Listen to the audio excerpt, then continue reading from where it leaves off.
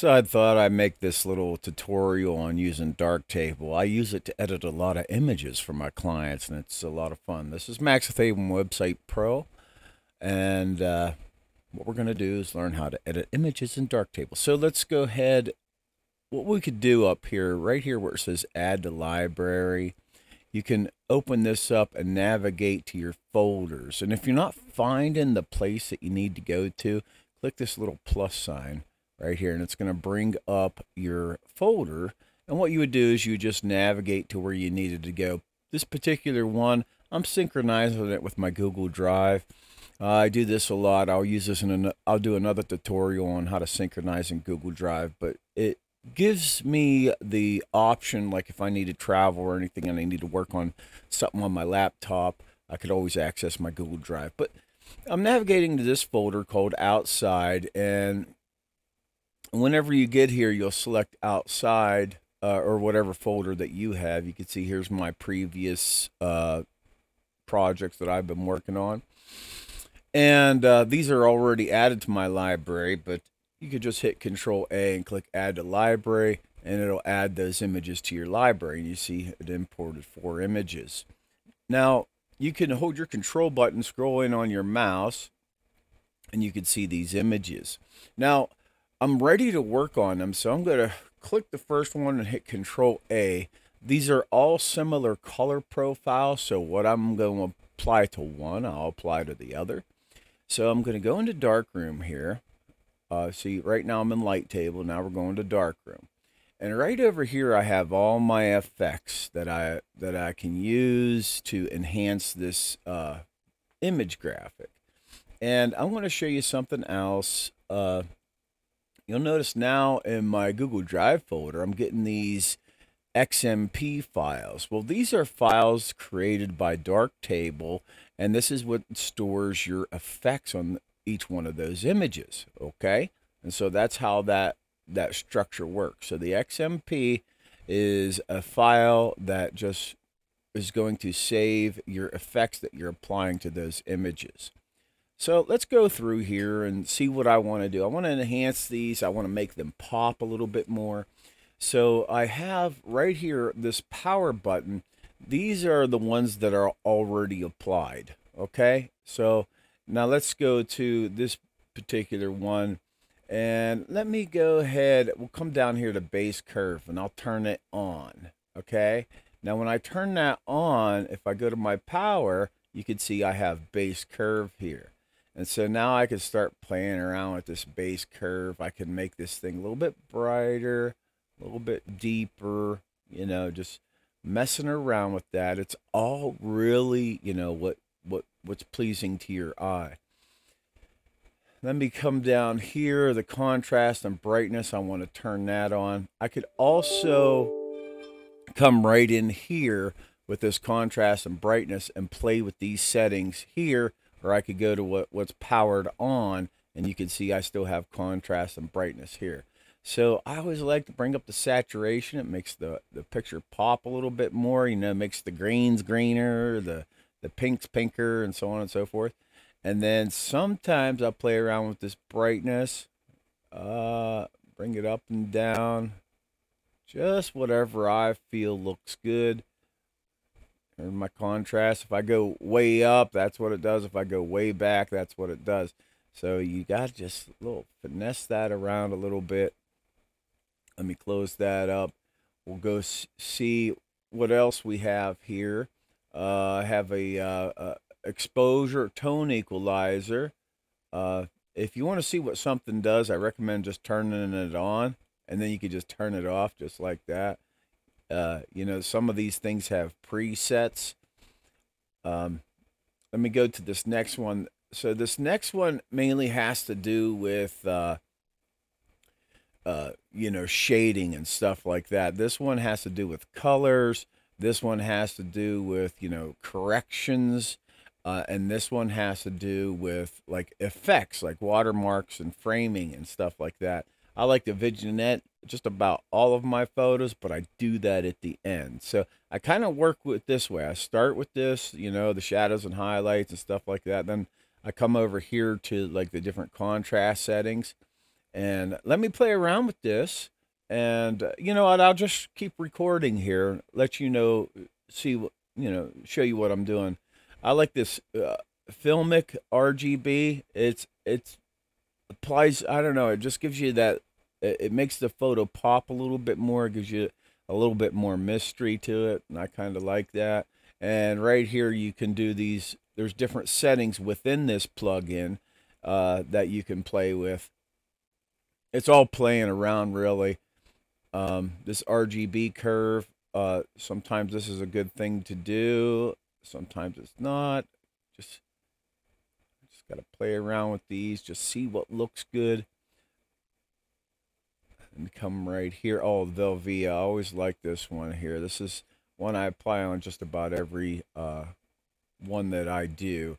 I can bring the strength up, bringing the strength down, but I kind of like what it already did to that picture. So, oh, let me see here.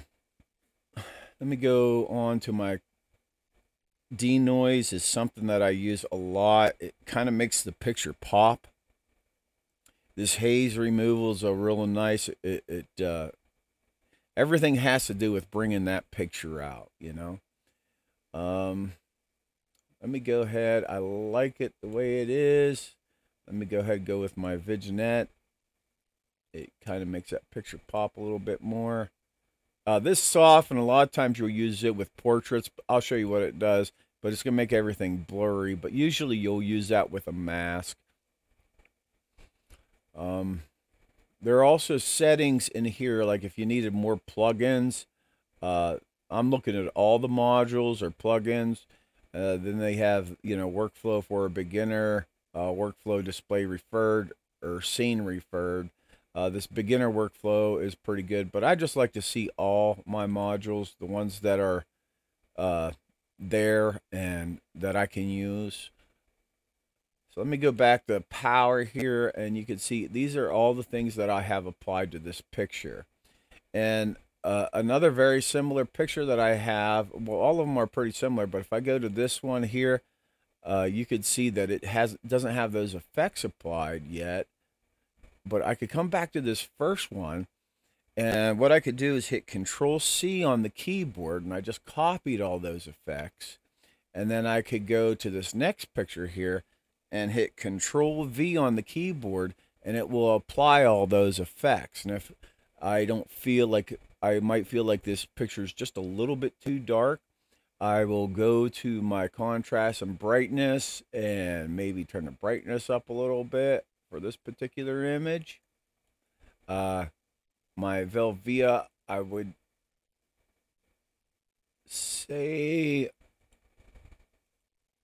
have that there like okay where's my vignette here let me see here sometimes I like to scale these down I could actually go inside the image here and hover over these round things. I don't know if you guys can see them on the video, but you see how it takes the uh, the image, you know, trying to get you to focus on uh, certain things. Uh, let me get turn that off, back on. I kind of like it on. Let me go with what I have powered here. This haze removal. I think I'm going to turn the strength up just a little bit. And again, what you're seeing on the video, you you know, I'm I'm probably seeing something a little bit more clear, more crisp.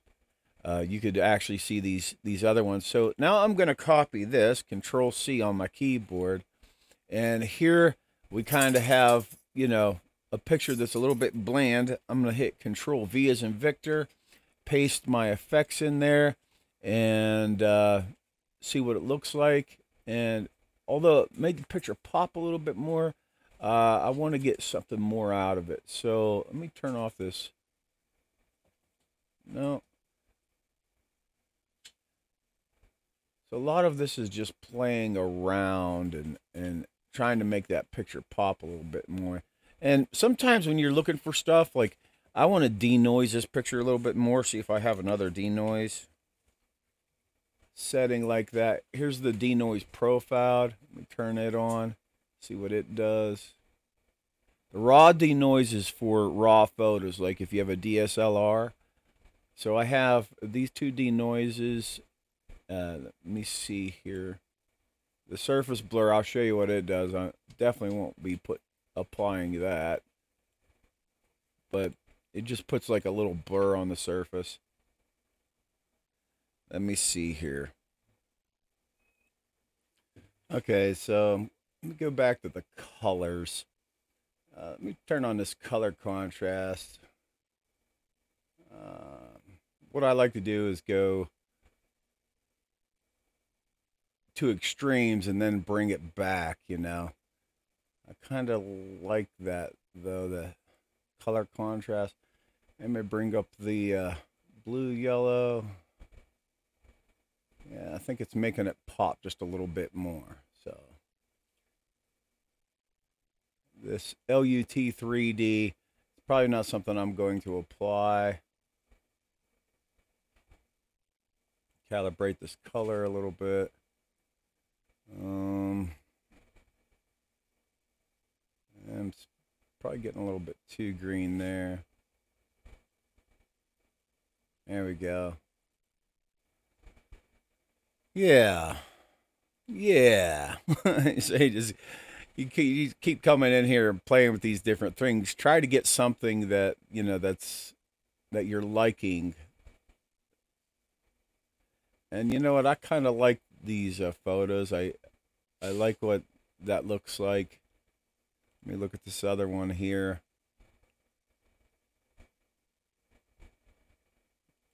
Yeah, maybe. So I'm going to hit Control C, come over here, and apply it to this one. Let me see what that does. Might have made it just a little bit too greeny. So I'm going to come over here to the, the, the power. I'm going to turn off things.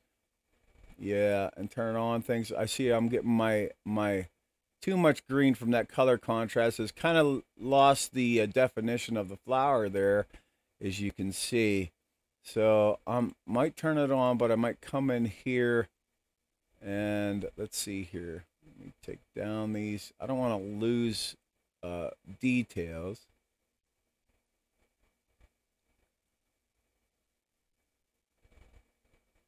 Just enough. A lot of times, you know, you just got to...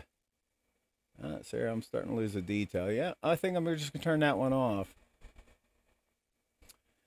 But I'm to go around here. I'm to play with this stuff some more because I, it usually takes me a while. But like when you're when you're all done and you're satisfied with these, uh, you know, the colors and the balancing and stuff like that. Here, let me just go ahead and copy this. I'm to apply it to here. Make it make this pop a little bit more. See how that made that pop a little bit more. And uh, so now I'm going to go back to light table here. Oh, and sometimes you'll get a crash like that. Let me just restart it. Okay, and now what I want to do is I want to highlight all these pictures. And over here, I'm getting ready to export them. So I, am going to come down to this export. And right here, you want to use JPEG 8-bit, especially if you're, um, you know, putting it online or something. Here you could select the folder, what folder you want it to output to. And so I'm just obviously going to go to my Google Drive to my clients. I'm going to take this off just because for privacy reasons. And let me come down to my client where I'm going to be exporting them.